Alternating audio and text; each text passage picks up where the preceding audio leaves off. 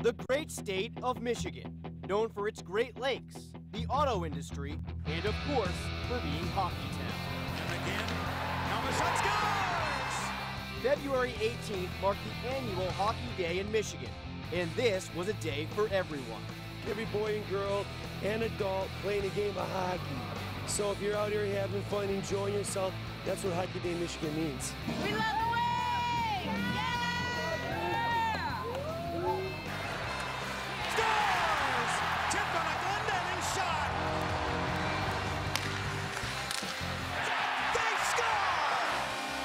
Come with us now as we revisit the fun times of Hockey Day in Michigan 2012.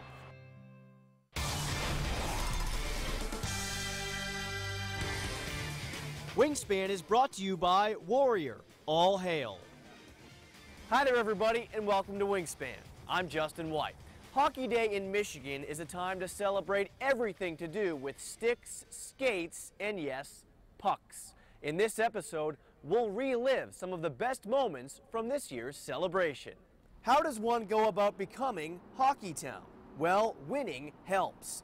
Michigan is home to 19 Division I college hockey championships, 11 Stanley Cups, and includes more than 2,500 amateur hockey teams.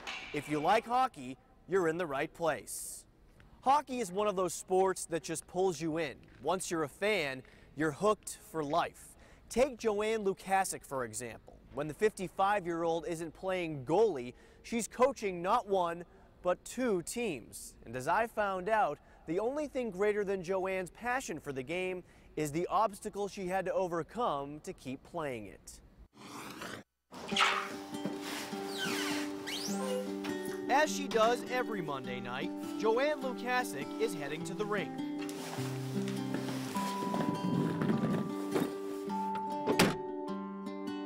Joanne plays for a team called the Stingrays in the Michigan Senior Women's Hockey League. Like so many others who play, Joanne lives for the game.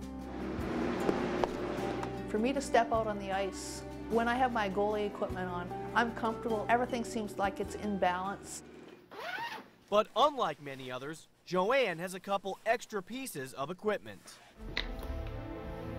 When she was 16 years old, Joanne lost both her legs in a farming accident at her family's home in southern Ontario. It was several days after, and I remember uh, my mom coming to the, my bedside, and uh, and it was and I had been going in and out at that point, and uh, I was fairly lucid at that time, and and I says, oh by the way, can you call the coach and tell him I'm not going to make the next game?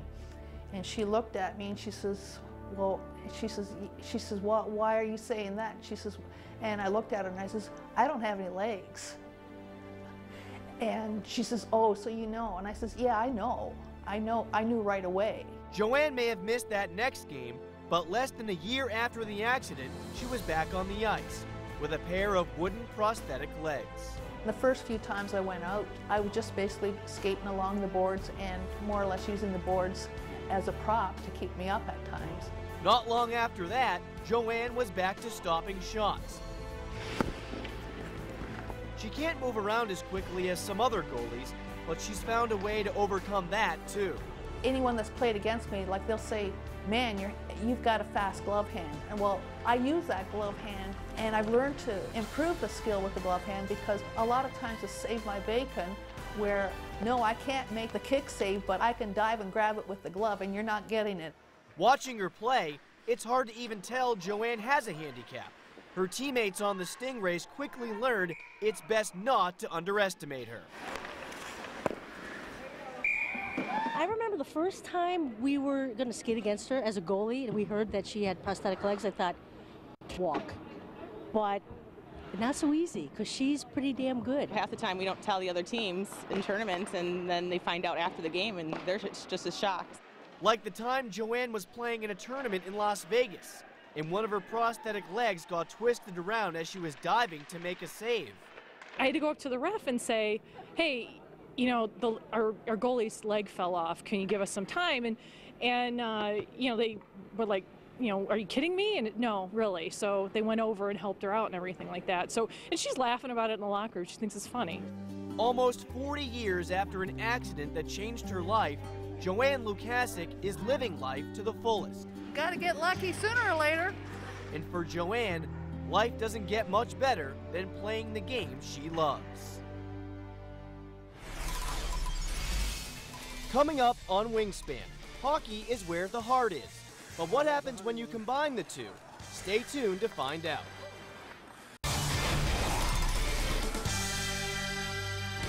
Welcome back to Wingspan. In this episode, we are celebrating Hockey Day in Michigan. The annual event honors our state's great hockey tradition. There was no better time to try out hockey than on Hockey Day. Hockey Day in Michigan! Novi Ice Arena got involved in the day's events with a Try Hockey for Free clinic. Young kids were able to take the ice and test drive the sport for the first time. There were definitely a few tumbles at this event, but overall, fun was had by all the kids who attended. But Novi wasn't the only place to get your hockey jones. Lindell Ice Arena in Royal Oak also hosted a clinic for kids to commemorate Hockey Day in Michigan. They also had a packed schedule of games for kids of all ages to play, play, and play some more. We are here at Suburban Ice Arena, a place where many kids practice their hockey skills. But the game isn't just for youngsters. Around the state, hundreds of adults learn to play hockey every year. So it's never too late to improve your skills on the ice. And as Shannon Hogan found out, it's also a place where you just might find love. It's 6 a.m. on a Thursday morning, and while other people are just waking up and grabbing a cup of coffee, Laura Vogel and Mike Ellis are out on the ice. They're joining their hockey friends. They do this at least once a week to learn more about the game they both love, trying to improve each time they skate. The Breakfast Club is um, it's an opportunity if you're an adult to go through an, an hour and a half of practice and they put you through competitive drills. It really helps me be a lot better than I otherwise would be. I would really stink, I think. I'm awesome now. I'm a legend in my own mind. And while both Mike and Laura have been skating at suburban hockey for close to a decade, they only met about a year and a half ago. Laura was the yak, yak, yakking in line, and I figured she must like me. She just talks to me in line so much I can't even concentrate on the drills. So um, coach asked us to, this was the last practice, and coach asked us to take two laps. And I skated up to her and I said, uh, Would you like to have a cup of coffee? And she looked at me very disappointed and said, Absolutely not. I didn't say absolutely not. They can joke about it now, but Laura's rejection was like a slap shot to the gut. I was disappointed, and three months later, I get. Oh, you weren't just disappointed. What did you do? I broke a hockey stick in the locker room, and then three months later, I, I get an email from Laura, and I didn't know it was Laura. And they said, "What what day are you going to be skating?" And I said, "Who wants to know?" And it was Laura. And a whirlwind hockey romance was born. And when the next session at the Breakfast Club began, their friends couldn't help but poke fun at the new couple. All of a sudden, they realized I was dating her and seeing her, and of course, there's kidding around and all that. And um, but it was worth it. For this couple, their love for each other was only further enhanced by their love for the sport. You know, it just seemed to be one more reason that we got along so well. I mean, we enjoy the same things, and I don't know, seemed like we were kind of meant for each other. And dozens of laps, shots, and drills later, Mike and Laura decided it was time to cross the blue line and tie the knot. What better place to get married than where they met, right here on the ice? Their coach Lyle Fair will conduct the ceremony this summer. Not everybody's going to get married at a breakfast club. Hopefully, this is the first and last. We thought we'd just keep it light, and Lyle's been a good friend to us, and since he's coached us for all these years, we decided, you know, why can't Lyle from Suburban marry us? Uh, he's qualified, he can coach us, why can't he marry us? A couple that skates together. Sticks together, so to speak. Hockey is love. Gotta take the puck with me. There goes the honeymoon. Coming up on Wingspan, we take the game outdoors. How would you like to have a hockey rink in your backyard?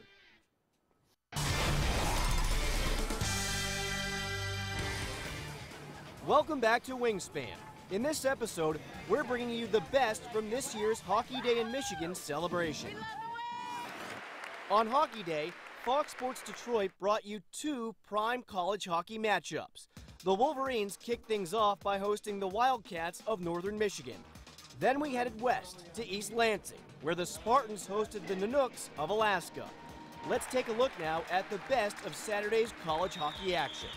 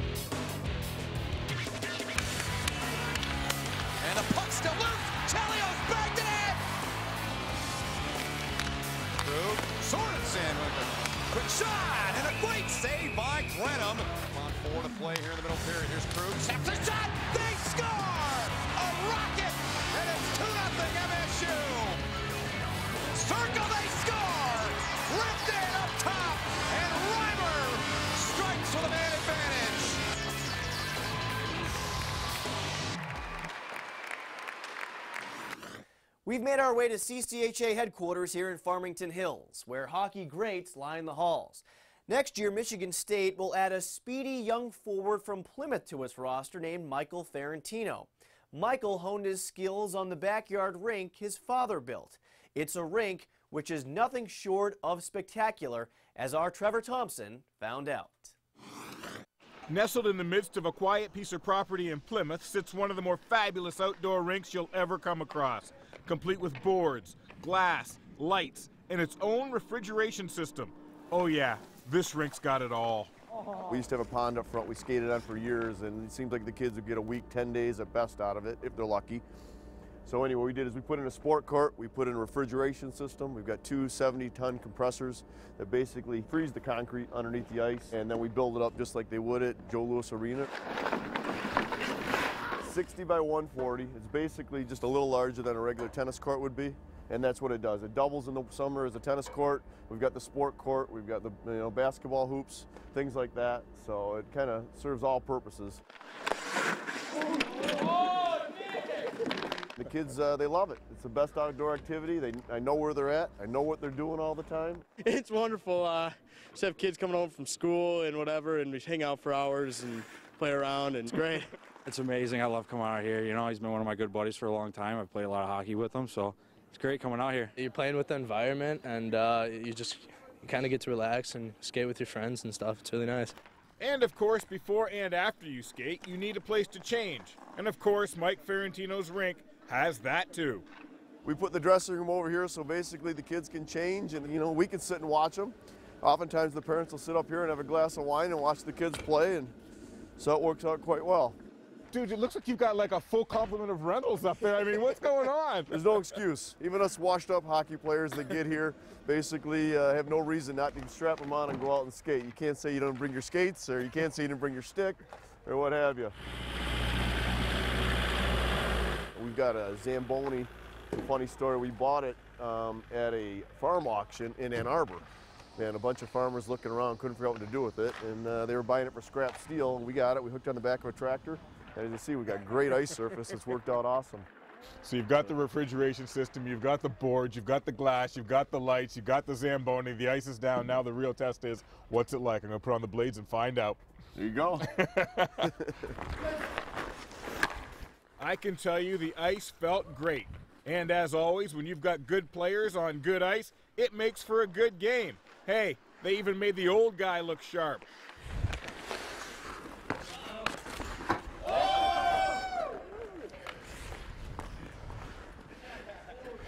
This is sweet. This really is sweet.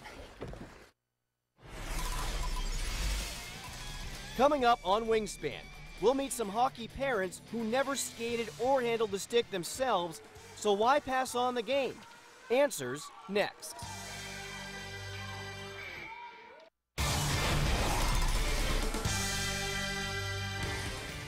Welcome back to Wingspan, where we're reliving this year's Hockey Day in Michigan festivities. When it comes to hockey in Michigan, of course, the Red Wings are king. So the best home team in the NHL took their practice on the road for Hockey Day 2012. Mike Babcock's squad held an outdoor practice at Clark Park on Detroit's southwest side, and Mother Nature cooperated 100%. Wings fans were able to come out and watch their favorite team prepare for the next day's game against San Jose. All they had to do was donate canned goods or pre owned hockey equipment, and the Clark Park practice paid off. The next day, the Wings bested the Sharks 3 2. Maxey to make the stop. Back in Abdelkader, and there's a flexing stop. The other way to score! Henrik Zetterberg, Drew Miller, and Darren Helm all lit the lamp to extend the Wings' NHL record home winning streak to 23 games.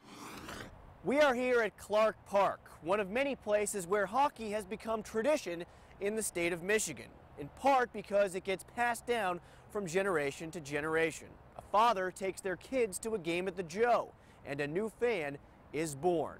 But there are many non hockey parents out there who have inherited their love of the game from their kids. Here's Matt Shepard with more. The sport of hockey continues to grow in the United States. In Michigan, there are over 51,000 registered players. So Hockey Day in Michigan is taken seriously. Hockey Day in Michigan means every boy and girl and adult playing a game of hockey. If you're out here having fun, enjoying yourself. Every child should should have a chance to, to learn how to skate and be part of a hockey team and, and play. It's just a wonderful sport. Despite some of the economic struggles, the game in our state remains strong, with participation actually increasing, and a lot of the influence is credited to the success of the Red Wings. We were great hockey fans. We followed the Wings. We had a chance to go to a Stanley Cup party, and he touched the cup, and he said, "I touched the cup." And uh, you know that we knew we knew that he was on a path. As both of my kids were growing up, they watched the Wings and they wanted to be like them. They wanted to play like them. They wanted to skate like them. My family's been season ticket holders for the Wings since they moved to the Joe back in you know 1980 or 79, whatever it was, and they absolutely play a process. And I think you've seen the growth of the sport in the area and all the teams and all the travel programs that have come up, and new teams being formed constantly. It's it's they're a huge part of it. With four recent Stanley Cups and six recent President's Trophies and the great tradition, the Red Wings are the favorite team of even the most novice hockey fan. But what you're finding more and more of these days is dads, including me, who never played the sport as kids, now encouraging their sons and daughters to play. Shep, I've seen you skate. You can you couldn't have played with thousands of dollars in lessons. Thanks, Dave. the only Canadian that has not played hockey. It's just a great game. I wish I would have played. It came from a family of six, couldn't afford it, and uh, wanted him to take advantage of this great game. I never played the hockey before. It was my dream sport, and uh, my son. Once I choose that, my son has been like uh, such as a different sport to baseball, but uh, hockey was the most uh, exciting sport for me and my son. I grew up playing baseball all my life, and they started. Both my boys started skating when they were about three years old, and they it just took off from there, and they loved the game. That love of the sport sometimes trickles up. The kids get involved, and the parents then get the bug to try and learn the game themselves. My son started playing my 11 year old when he was four, and um, he loved it, and had a great passion for it. So I jumped in and started out managing a team, and then I started uh, coaching. I took Learn to Skate and just jumped in because my son had the passion for it. I have three boys who played, and like many other parents, I love hockey's discipline and what it stands for. Skate up into them. There's three guys out there, two of you. Get up into the forward. They learn responsibility. They learn effort. They learn teamwork. And they learn, you know, hanging with their, you know, hanging with all other guys and making sure you're supporting other guys as well. The way I look at it is, would I rather have him be here, or would I rather have him be at home and spending money on video games and letting him sit at home? I think I'd rather have them being here and sacrifice a little bit, knowing that they're going to grow up having this as a, as a life sport and a life lesson. Thank you for joining us for this Hockey Day edition of Wingspan. We hope you enjoyed a look at some of the great festivities our state has to offer. For all of us at Fox Sports Detroit, I'm Justin White. We'll see you next time.